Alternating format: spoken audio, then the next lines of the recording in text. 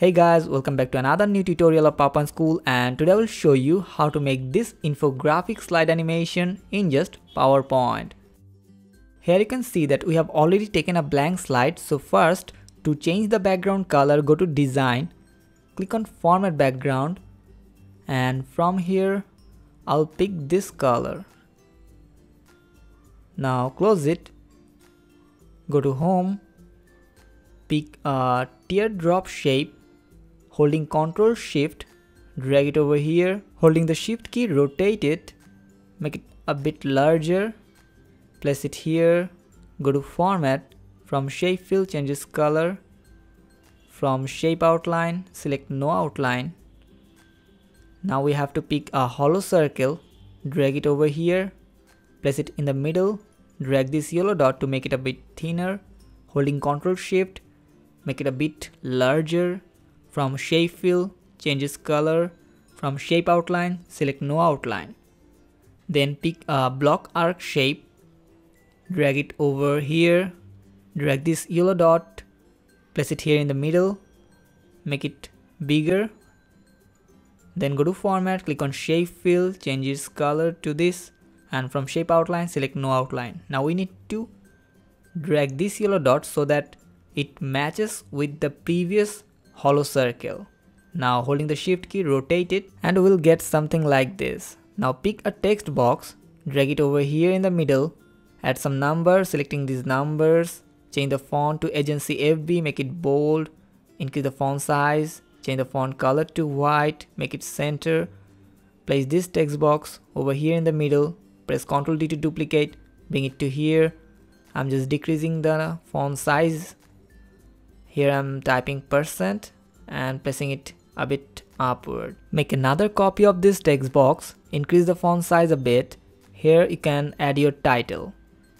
Now pick a triangle drag it over here make it a smaller one. Go to format from shape fill change its color.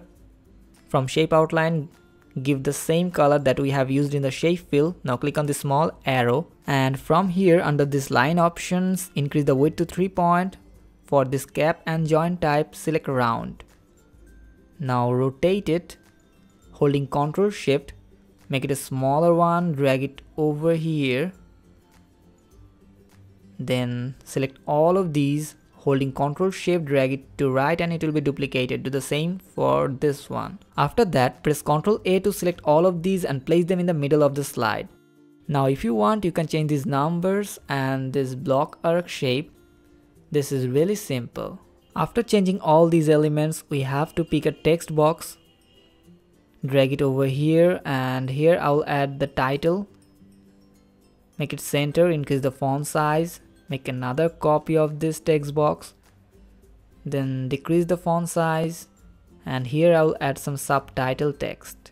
Now select this two, press Ctrl G to group, then go to format from align, select align center. So basically we are done with creating all the necessary elements. So now go to animation, click on animation pane to look over our animation status and to add the first animation on this element, go to add animation, select fade. From here, keep this on click and duration 0.25 seconds. For this second element, select this one from add animation, select fade, set start after previous, duration 0.25 seconds. For this third element, from add animation, select fade again, set start after previous, duration 0.25 seconds and delay 0.25 seconds. For this text box, from add animation, select zoom, set start after previous and duration 0.25 seconds for this person text box.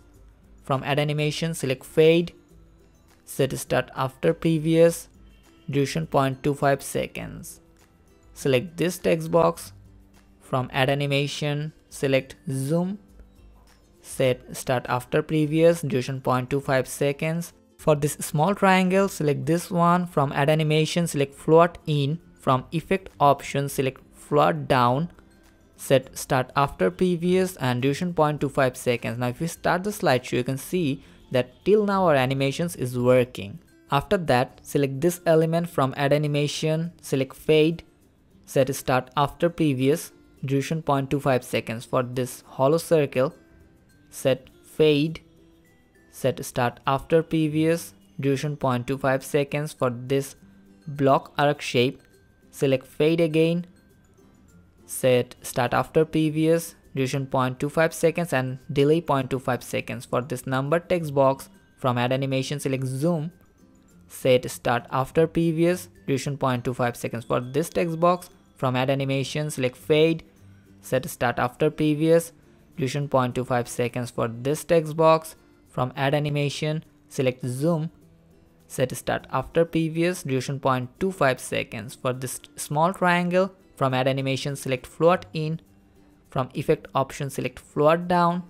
Set start after previous duration 0.25 seconds. As you can see that we are using the same animation so now i will use the animation painter tool to copy and paste the animation. Here i'm just copying and pasting select this animated object click on animation painter to copy and paste it here select this block arc shape copy and paste select this text box copy and paste Select this text box, click on animation painter to copy and paste it here. This is really simple. You just need to select an animated object, click on animation painter to copy and paste it on a non-animated object. And here we are done.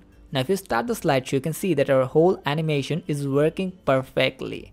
You can download this template for free. I've given the download link in the video description. If you have enjoyed this tutorial, make sure you give a like for this video.